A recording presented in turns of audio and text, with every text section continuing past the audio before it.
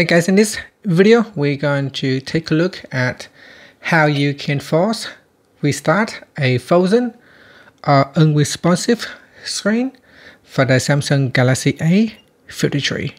So if the screen is not working, what you can do is press on the power button or the side button plus the volume down key.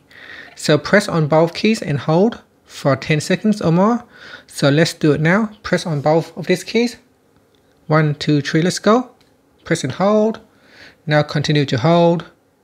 Continue to hold until you see the phone reboot. Now continue to hold until you see the Samsung logo. Now let go. And that's it. So we have now successfully reboot the device. It will clear out the memory and any app that's crashing your device uh, will be closed and your phone will should now be working again and the screen will not be frozen uh, anymore. And that's it.